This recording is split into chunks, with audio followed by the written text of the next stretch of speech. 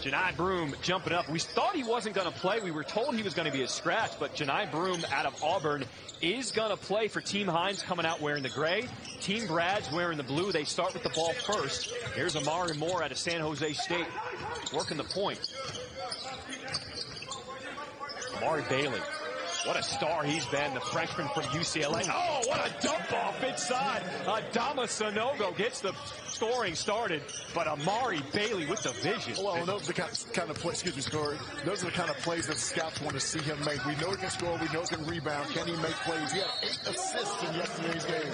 Ricky Council the fourth coming back at him. Executive something that they may not have known that he had by point. Extra pass into the corner, three ball on the wing, it goes. Seth Lundy continues his hot shooting. Know that he is an elite level athlete. So showing this off really helps his draft status and draft stock moving forward. Ben Sheppard hanging in the air. He converts for the lay-in. Ben Sheppard, the senior out of Belmont. He also had some flashes yesterday. Ooh, the hot shooting. I'm Seth Lundy. Just shut it down. We know you can light it up from the outside. So one of the things that coaches want to see from you here is also can you follow the scouting report? How does that guy get open? He's five foot, four for five yesterday and already two for two to start this one. Shot 40% on the year, Corey.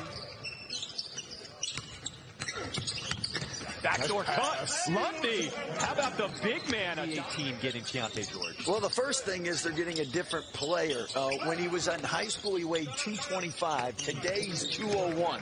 So he's done a great job. but, but, he's somebody that went from 12 a game at Wichita State to 16 a game yeah. at Arkansas. That's a really tough thing to do. Um, but he had a heck of a game against us. The only thing we confident. No, absolutely, my brother. For sure. You know, and at the same time, you have to be confident to be a shooter that he is because, of course, not all shots are going to go down. players like that. Oh, nice. No look pass from Dillon Jones around or looking into the stands. I think they all are a little more present out here focusing on the game. Amari Bailey with two guys on him off the window. Amari Bailey. If they keep their name in the draft, I even think can you get a guarantee for, for training camp and is there a comfort level making the roster spot? That's that Amari Bailey.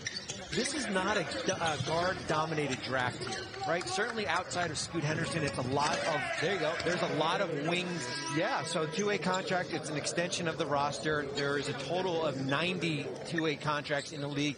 Each team now is allowed to have three. It's basically roster spots 16, 17, and 18.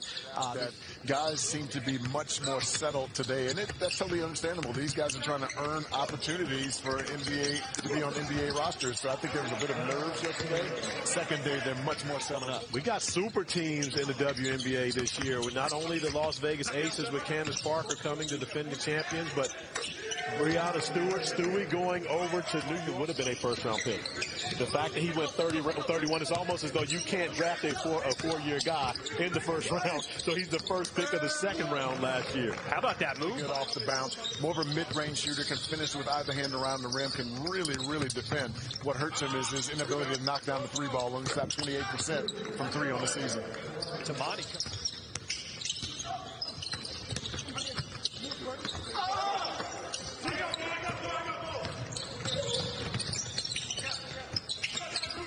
Good passing inside. Azuolas Tubelis out of Arizona. A lot of you guys start watching in high school, but this is kind of a chance to, you know, do like a last little take that we can do. The combine and, a player. And, and, a player. right, and a player. You've seen the combine in a number of different roles. Talk about the way the combine has changed. 30? Oh, why, why got to put it out there like that? well, you know, it's interesting. Right now, the days of school, they see criticism all over the place. Like, you know, in the old days, when, you know, you, you scored 20 points, they only put the guy who scored 20 points name in the paper.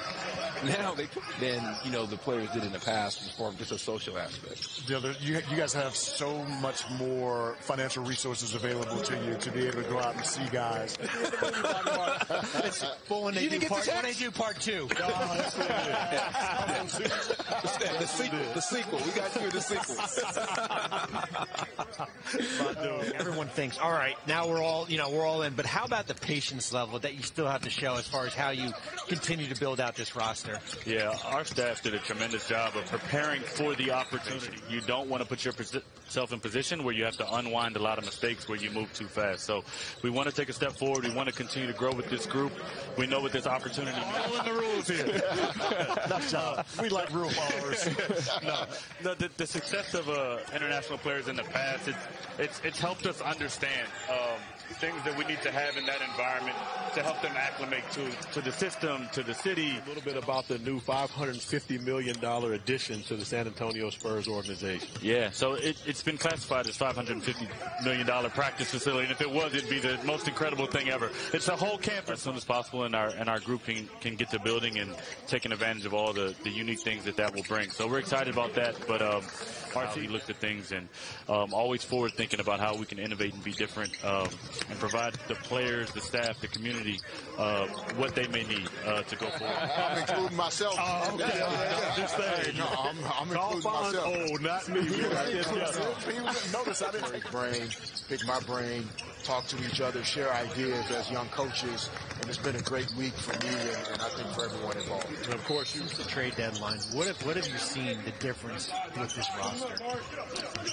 You know, it's it's it's difficult to quickly create chemistry and being in these situations together.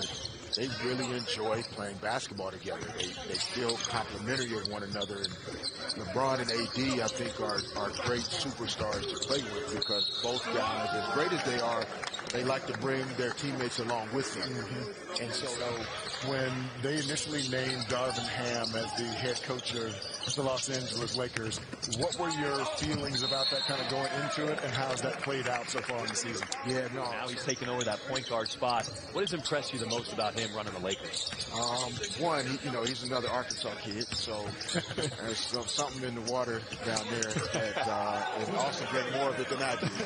Your experience was in Chicago? Yep. Were you Moody Bible? Moody Bible. By, Moody Bible back in the day. Yep. Think back to your experience during that time. You played. First round pick when I left.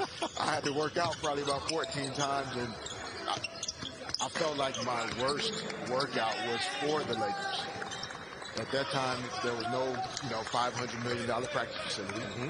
So we went to Inglewood YMCA. the floor felt like it had peanut shells all over it. I, could, I couldn't stand up. I couldn't slide. I couldn't stop first day and your last day because you, you won't be here as long as you think. Mm-hmm. Um, and if you are, it'll go fast. So you have to maximize every opportunity. You finish this again. And again, easy, relatively speaking. Yeah. However, staying in the NBA much more difficult. My God, 18 years, sir.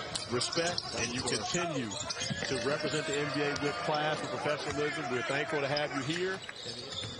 As Team Hines with a six-point lead over Team Brad. Timme with the monster slam. It's like he knew we were watching again.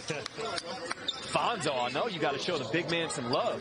Uh, absolutely, and able to spin out of that one, and we don't know him for his athleticism, but able to find his way down the lane, and he punches that one.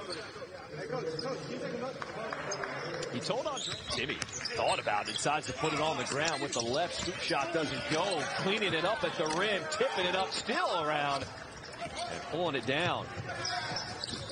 Jordan Walsh.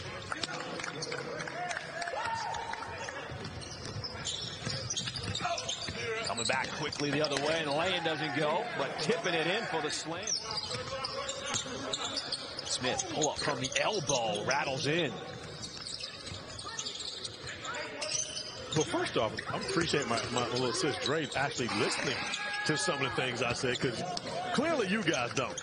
Just on the fly as far as guys being called up, two-way guys coming down. Do you see a little bit of like this? You guys, I guess we can call it made a trade for Drew Timme and P.J. Hall. Where Jones just took the charge there out of Weber State. Here's Sheppard, lines up a three ball. Oh, the tip slam is good by P.J. Hall. Hello. From the G League Combine to here in the NBA Draft Combine, but I believe he's had a pretty impressive performance here this afternoon Look well. at Sheppard with the hounding D. He's got the steal, the bounce pass to Broome, and one. Ben Sheppard is having himself a day on both ends of the floor, and we shouldn't be surprised. And I know people make a distinction with low major, mid major, high major, etc. But when you're a baller, you're a baller, and he showed two-way ability today, able to knock down the three ball, but that's PJ Hall diving down the lane and tipping that one in. Ben Sheppard with a nice steal and a beautiful pass to Johni Broome. Right, even if he's on a two-way contract where he's going to come in here and certainly push some of these oh! starters. Sorry to cut you off, Bobby, but on the inbounds, Drew Timme beats the buzzer and and one. You are not sorry to cut him off. I am sorry. I, I get a little excited. I can't help myself. I tell you What, whoever made that trade for Drew Timme to, to Coach Hines' team should be in trouble right now. but, but here's the thing, Bobby. It wasn't just Drew Timme in his pregame routine. He kicks his leg well above his head. Almost, I mean, it's, it's freakish in nature. You're talking about someone 6'10", mm-hmm. and he's not a skinny 6'10". No. You're talking, I mean, he is built well for the game, but super flexible.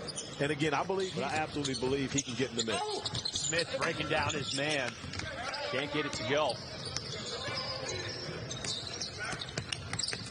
Team Hines with numbers and Jordan Miller with back-to-back buckets for Team Hines. Jordan Miller just just knows how to play, man. he just He does. he's just always effective. It doesn't matter what else is going on. He's going to be out there and he's going to be productive. Smith will launch it, nothing but nylon.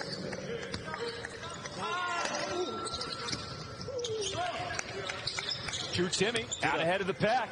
Get up, Drew.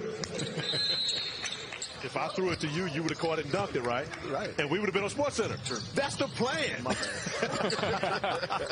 it's Timme with the follow. got another Sports Center top 10 moment because he would, of course, made sure to put the sauce on.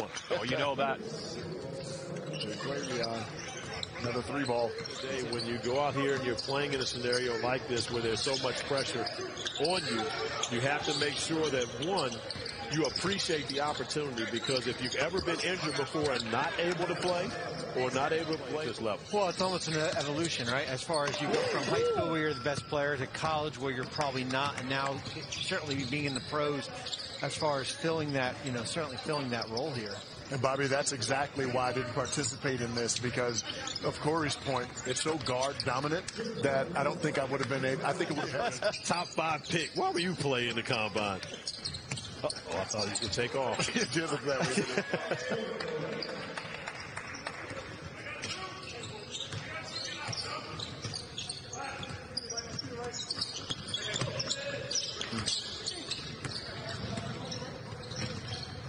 Throwing it up top, throwing it down. Samani Kamara. Not even cash consideration. That's good, Bobby. That's so good. Adama Sanogo, the national champ from Connecticut, throwing it down. And still putting up big time numbers. Yeah, that was major. To see him going out and performing the way he was and not being able to eat mm-hmm. during daylight hours. Spectacular performance for the, the Huskies. And shout out to my guy, Dan Nee. Not Dan, but Danny Hurley winning a national championship this season with the UConn Huskies.